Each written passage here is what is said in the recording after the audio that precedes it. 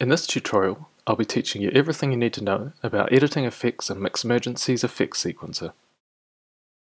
To begin editing an effect mapping, you'll first need to click on the Effects Mapping control to open the Edit window.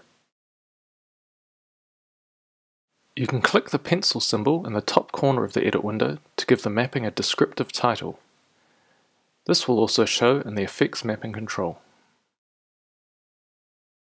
The control labeled beats allows you to set the duration of the mapping, which can be useful if you want to animate an effect over a longer period than one beat.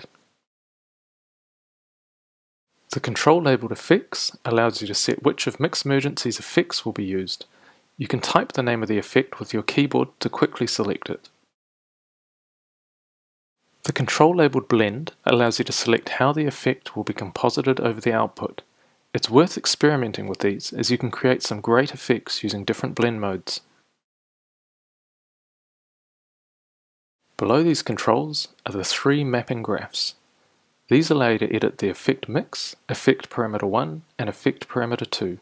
If the parameters aren't available for the selected effect, then these will appear grayed out. The graphs can contain up to 16 points, but in their simplest form, with only a single point, they act like a slider control, with 0% at the bottom and 100% at the top. You'll notice that the effect is mixed in and out again as I move this point between the top and bottom points. You can think of the horizontal axis as being the duration in beats that we selected above with the beats control. In the following two examples, you can see the effect being mixed in from 0% to 100% over the beat and then mixed out from 100% to 0% over the beat. To add a new point to the mapping graph, simply double-click on the graph at the position you would like to add the point. Alternatively, you can right-click and select Add Point. To remove a point from the mapping graph, double-click on the point that you wish to remove. You can also right-click on the point and select Remove Point. To move a point, simply click on the point and drag it to its new position.